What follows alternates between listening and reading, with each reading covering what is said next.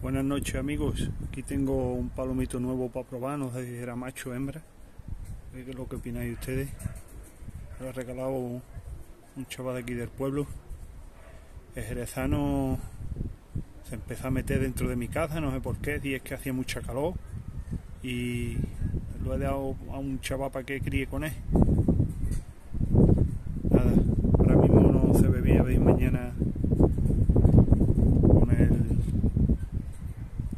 La luz del día se ve el pichón, un pichoncito.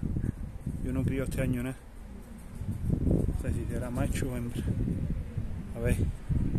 Si hay suerte lo puedo probar aquí. Todavía no he probado ningún palomo aquí. La trampa esta.